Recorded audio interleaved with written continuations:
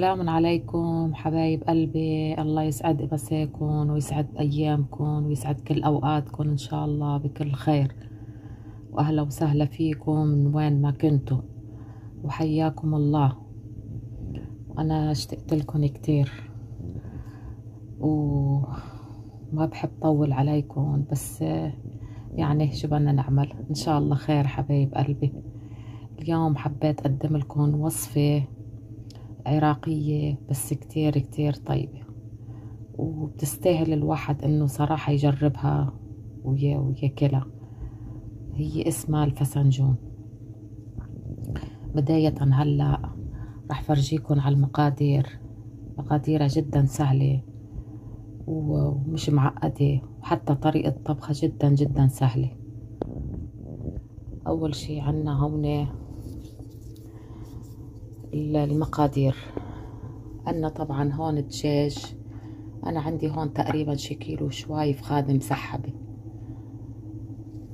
عندي هون تقريبا شي كوب آه، جوز. وهون بصلة وحدة. عندي هون تقريبا شي كوب آه، دبس الرمان. وشي ربع كوب أو نص كوب تقريبا آه، شو اسمه طحينة. اللي هو اسمه آه، أخواننا العراقيين بيقولوا له الراشي.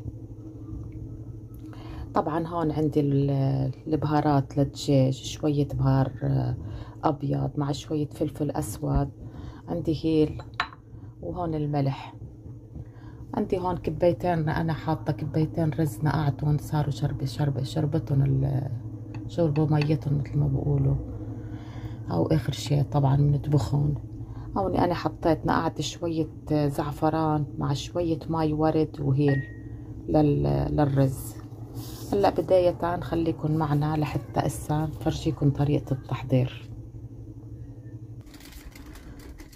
هلأ هي أنا حطيت أنا بهاي الطنجرة آه شوية زيت لأنه بتعرفوا الطحينة إنتو دسمة فأنا بس شوية زيت حطيت مشان البصلة لحتى أقلبها. هلا شوية أنا بحمسها للبصلة بنحط عليها الدجاج بس أنا مشان ما نطول الفيديو وصوت الحمص والبصلة فراح وقفه وفرجيكم بس نحط الدجاج. خليكم معنا. هلا هاي البصلة طبعا هيك صار شكلها. يعني أنا ما بدي حمرها. هلا بحط الدجاج أنا.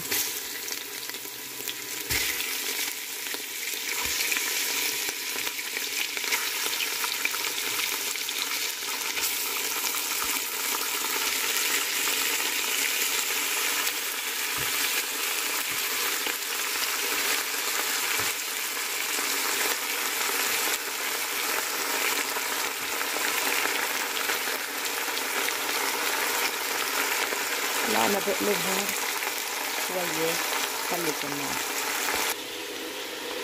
يعني بعد ما عم نقلبها. هلأ أنا بحط بهالاثناء طبعا البهارات اللي ذكرتها. هي ما بدهاش بهارات كثير يعني صراحة. هي بهاراتها مش كثير بس شوية بهارات مشان الدجاج. هيدا الملح. وعنا هون الهيل.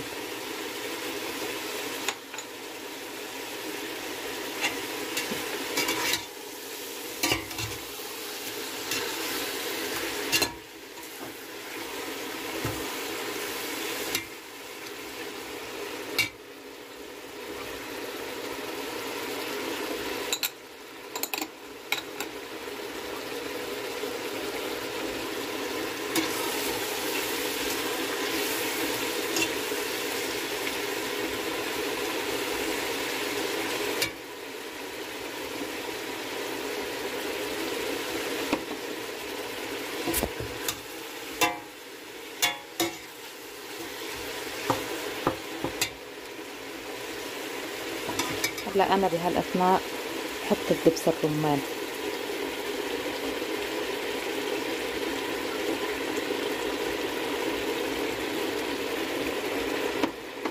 هلا بحركهم خليكم معي أنا هلأ بهالاثناء حطيت دبس الرمان مثل قلت لكم.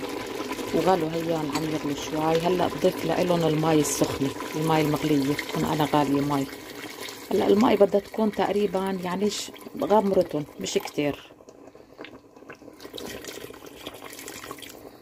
يعني شيء لتر مي تقريبا للكمية اللي أنا عامليتها.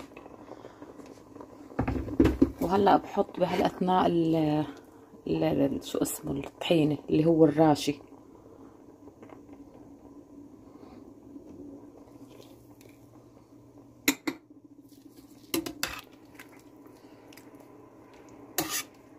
هلا بتركهم تقريبا شي عشرين دقيقة خمسة وعشرين دقيقة لأنه الدجاج ما دغري بيستوي ما بده غالي كتير يعني. وبعدين بنضيف الجوز. هلا بنتركهم ليغلوا وبس بدي أحط الجوز بفرجيكم. خليكم معنا.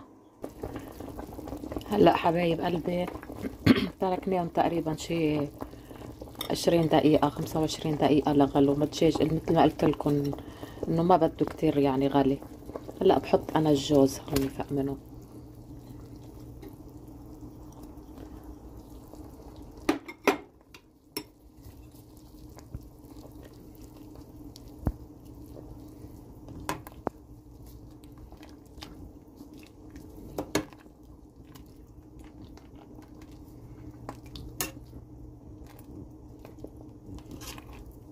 هلا كمان بنتركهم شي تقريبا شي عشر دقايق مش أكتر لأنه الجوز بس شوي نحن بعد ما بنحطه بنحط الجوز بنتركه يغلي شوي مش كتير.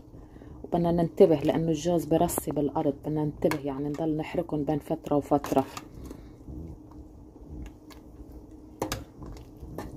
هلا إن شاء الله بنفرجيكم الطبق النهائي بالآخر كيف بس نقدمه. وهلأ بنعمل أكيد حده رز أبيض. آه هلا بتركهم شي خمس دقايق وبنعمل مع بعض الرز الأبيض. هلا أنا هون حطيت ال هيدا منشان الرزات. حطيت أنا بهيدا الوعاء مي وعم بغليه هون لأنه بدي أعمل رز مصفى أنا. وهون أنا قلت لكم déjà أنا منقع الرزات بشوية ملح. هلا بتلقن فوقهم لحتى نسلقهم.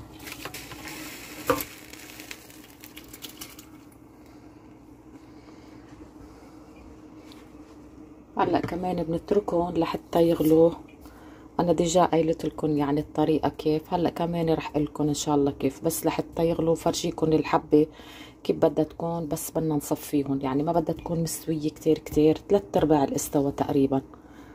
هلأ بحط لهم أنا ملح وبخليهم يغلوا لحين ما إنه بدي صير أنا صفيهم وبفرجيكم كيف. هلأ هينا يعني بعد تقريبا بدك بدكم تقولوا شي خمس دقايق سبع دقايق لأنه أنا ديجا نقعيته بس يكون الرز منقوع ما بده كتير سلق. فليكوا كيف الحبة صارت؟ هيك بدها تكون الحبة.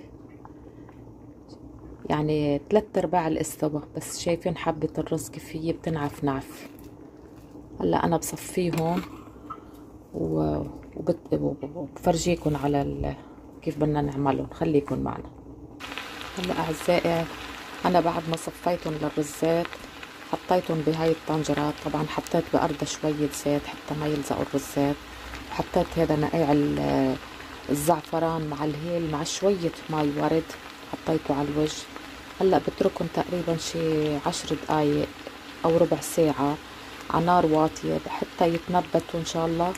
ونفرجيكم على الشكل النهائي. أنا حبيت عم فرجيكم خطوة خطوة كل كل الطبخة والرزات. إن شاء الله. هلأ بنفرجيكم الشكل النهائي حبايبي.